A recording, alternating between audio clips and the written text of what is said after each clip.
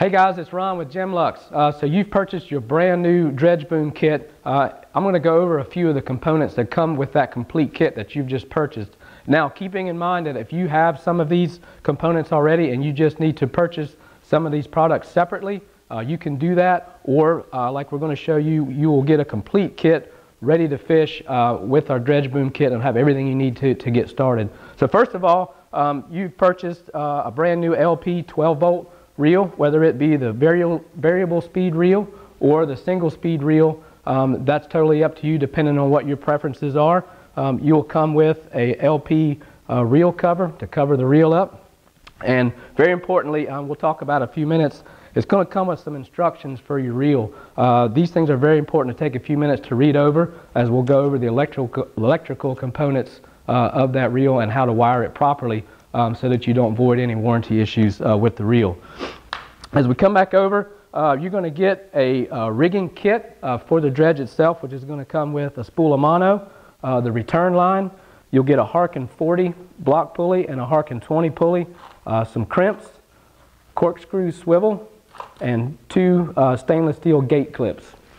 Also included in your kit, you're going to get an electrical or a wiring kit for your reel if you don't already have that in your boat. If you have a new boat, uh, obviously you have uh, the option of getting that wired into the boat and getting set up properly. If you don't, um, you're certainly more than welcome to do the work yourself uh, with this kit and going over the directions uh, that come with the LP. Uh, this has a great uh, wiring diagram in this kit to show you exactly how to wire that properly or you can go to their website and they give some good information on that as well. So you're going to get a spool of number six uh, gauge wire. It's going to have the female Hubbell plug, 30 amp plug, a 30 amp flush mount breaker. You'll get the waterproof cover plate uh, to go over top of the box, uh, waterproof box, a collar to go at the bottom of the box to feed the wire up into, uh, into the box, and then the uh, lug ends that go on the battery uh, for the wire. like I say, if you're uncomfortable with this kind of work, uh, find somebody in your local area that can take care of that for you and get it wired up properly uh, that so that you don't have any downtime uh, fishing because what you don't want to do uh, is do something and, um, and have a problem with your reel and take away any downtime you guys uh, for fishing for having a failure with your wiring. Also included with that kit is going to be a number four AFTCO bent butt. Uh, this is the large. this is the one that we will be selling that will come in your kit. it's very easy to use. You'll actually just take the dredge boom itself and the ferrule will slip right in here and lock in place and then you'll just be able to twist the collet on and you'll be all set.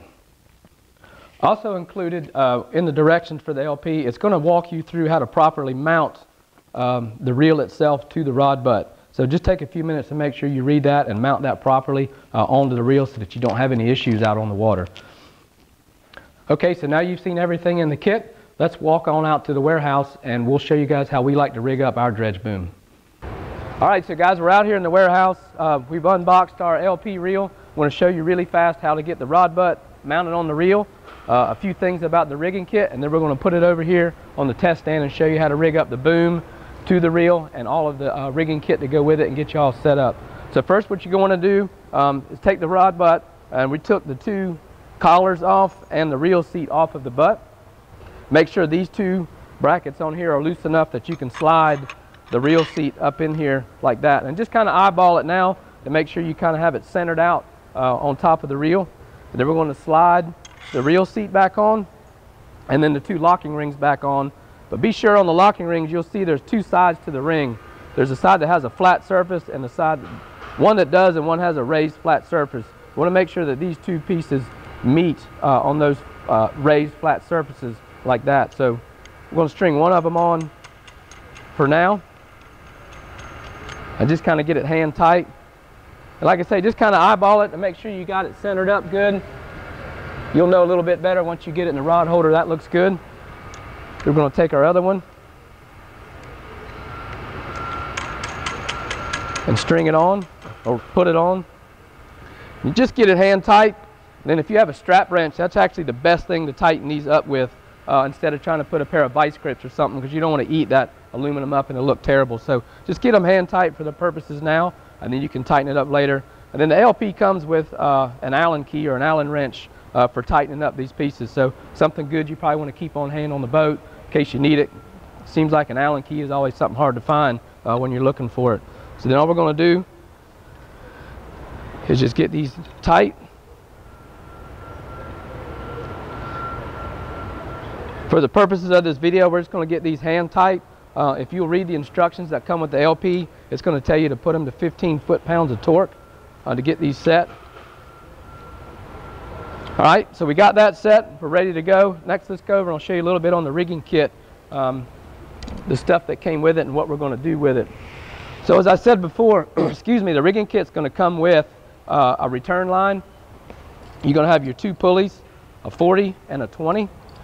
Then you're going to have your corkscrew swivel.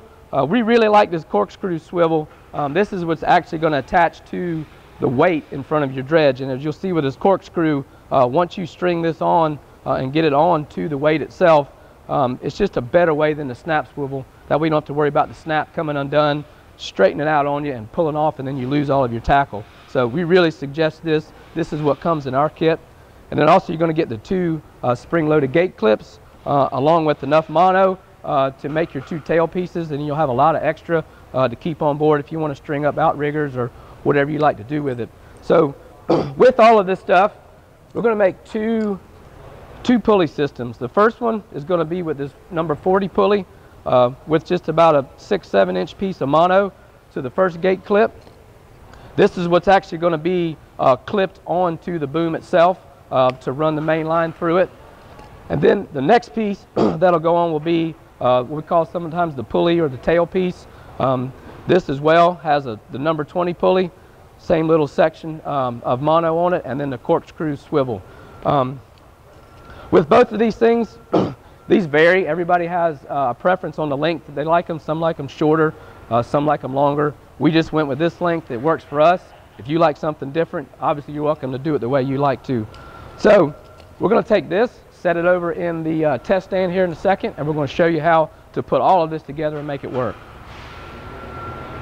So we're over here at the test stands, and we'll show you guys how to, what order we want to put these pulleys on, because this is very important. So the first one we're going to put on is the biggest pulley, the number 40 is going to go on first. What we're going to do is put it on there. Second one being the smallest pulley, the number 20 pulley, drop it on.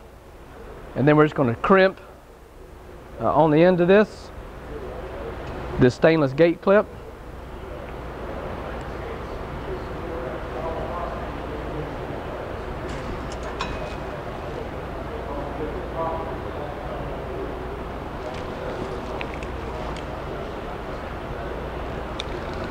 Make sure we get this one tight because there's a lot of pressure on this one. This is a pretty important piece of the, of the system. So we've got this crimped on. Those will stay right there. So normally uh, when you were fishing or riding out, uh, what you can do is just take this clip uh, and run it back on top of here and just clip it on so it keeps everything uh, nice when you're running. Um, you've also got these clips. Um, you can clip these two together. You can clip them on here somewhere.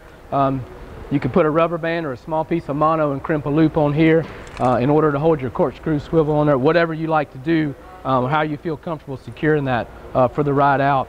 Next, we're going to put we're going to put the boom on. So we're just going to undo this collar, extend it all the way out. It'll stop when it gets to the end point, and then just take it and simply twist it down and get it tight. These two uh, rings right here will swing all the way around 360 uh, on the top and the bottom, so you don't have to worry about getting the orientation right.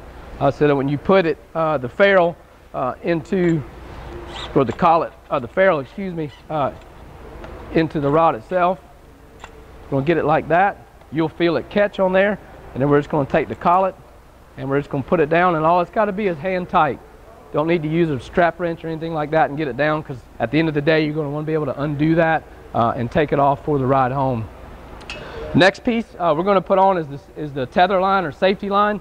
Um, tie back rope uh, for the dredge itself and it's just going to clip on to one of the rings on uh, the double ring here and you take it back on your boat somewhere and uh, preferably the spring cleat or the breast cleat on the boat um, you're going to tie this back um, we give you enough hopefully uh, that you could either cleat it off um, you could tie a bowline in it and put a loop on it just so you can put it on the cleat.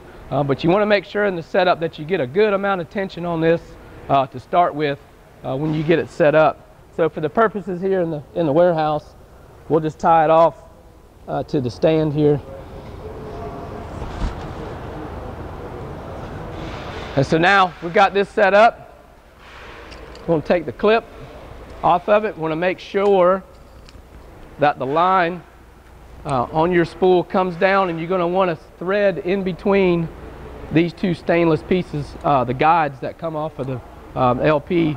This is the line winder guide that, that'll guide this line uh, across the spool and make sure that you get it wound on correctly. So you just slide it in there, make sure you got it, clip that over, and then we're going to give a little bit of free spool so we can pull it out. So we'll come out and the biggest pulley with the clip, we're going to clip it. I like to kind of go from the front to the back that way. And then we're going to take, this is going to be the one that goes to your dredge itself or to the weight in front of the dredge. And then our next clip is going to come up here to the top and clip just like that. Now we're set. Now if you were uh, offshore, now you go ahead and clip your dredge on itself. So we're just going to bring it back. We're going to use this sweet cart right here as our dredge um, to get set up just to kind of give you an idea of what it's going to look like. And simply just thread the corkscrew on there like that so you got it set. Pull some tension back up on this to get it how you like it. So there's kind of the setup. Now, uh, the last piece that we can use, um, we like this piece uh, as opposed to using the gaff. There's going to be times uh, when you're going to need to be able to get um, that dredge back to the boat, whether to clear grass off of it um, or, or to check your mullet or check your bait, whatever you need to do. Um, so what we've got back here uh, is a return line. And all you're going to do is take the clip end of this and clip it on one of the rings at the bottom right there. And then important, make sure you bring it underneath of your halyard here, coming back up. And then we're just gonna unclip this, slide it through the ring, clip it back. And now you've got a, a tether line if you need to pull in, pull the dredge back to the boat to, to service it uh, or change bait out or whatever it is you need to do. Um, so that's it guys. That's how we got set up. We appreciate it. Um, glad you guys uh, hope you enjoy the product. We've enjoyed making it, and uh, we hope it makes your fishing a whole lot better.